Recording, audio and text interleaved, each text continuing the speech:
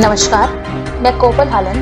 स्वागत करती हूँ आपका सी लॉर्ड न्यूज़ भारत की ओर से 9 मार्च को गलती से पाकिस्तान के क्षेत्र में जा गिरी मिसाइल के मुद्दे पर रक्षा मंत्री राजनाथ सिंह ने मंगलवार को संसद में बयान दिया।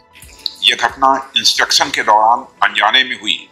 मिसाइल की रिलीज़ से संबंधित है। मिसाइल यूनिट के रूटीन मेंटेनेंस और इंस्ट्रक्शन के दौरान शाम को लगभग सात बजे दुर्घटनावश एक मिसाइल रिलीज़ हो गई।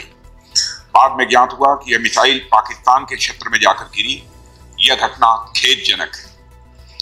परंतु यह राहत की बात है कि इस दुर्घटना से किसी भी प्रकार का कोई नुकसान नहीं हुआ है। सभापति महोदय, मैं सदन को सूचित करना चाहता हूँ कि सरकार ने इस घटना को बहुत ही गंभीरता पूर्वक लिया है और इसके लिए एक औपचारिक उच्च स्तरीय जाँच के आदेश भी दे दिए गए हैं। कथित दुर्घटना का सटीक कारण जाँच के बाद ही पता चल पाएगा। मैं यह भी कहना चाहूँगा कि इस घटना के संदर्भ में ऑपरेशंस मेंटेनेंस तथा इंस्ट्रक्शन के लिए स्टैंडर्ड ऑपरेटिंग प्रोसीजर्स की समीक्षा भी की जा रही है। हम अपने वेपन सिस्टम की सेफ्टी और सिक्योरिटी को सर्वोच्च प्राथमिकता देते हैं। इस संबंध में यदि किसी भी प्रकार की खामी पाई जाती है, उसे तुरंत दूर किया जाएगा। मैं सदन को आश्वस्त करना चाहता हूँ कि हमारा मिसाइल सिस्टम अत्यंत सुरक्षित और भरोसेमंद है। इसके अलावा हमारे सेफ्टी प्रोसीजर्स और प्रोटोकॉल्स उच्च स्तरीय है और समय समय पर इसकी समीक्षा भी की जाती है।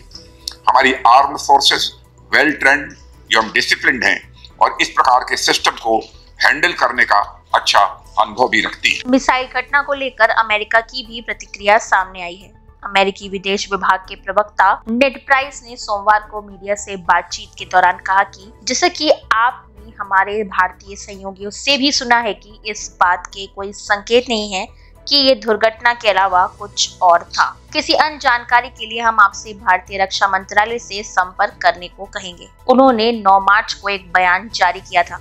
जिसमें विस्तार में बताया गया है कि वास्तव में क्या हुआ था। हम उससे अलग कुछ नहीं कहना चाहते। इससे पहले नई दिल्ली में भारत के रक्षा मंत्रालय ने कहा कि सरकार ने इस घटना को गंभीरता से लिया है और इसमें एक कोर्ट ऑफ़ इंक्वायरी का आदेश दिया गया है। तो वहीं पाकिस्तान के प्रधानमंत्री इमरान खान ने मिसाइल घटना पे एक रैली के दौरान ये कहा कि यदि पाकिस्तान चाहता तो कुछ और कर सकता था, लेकिन उसने इस मामले को अच्छे से संभाला। इमरान खान पंजाब प्रांत के हफीजाबाद में एक रैली को संबोधित करते हुए कहते हैं, हमें धमकियाँ मिलती रहती हैं। अभी जो हिंदुस्तान का एक मिसाइल दिया गया, पाकिस्तान ने बड़े अच्छे से इसका जवाब दिया। हालाँकि हम कुछ और भी कर सकते थे। इस खबर में फ़िलहाल इतना ही। तमाम अपडेट्स के लिए जुड़े रहें सी लॉट न्यूज़ के साथ। धन्यवाद।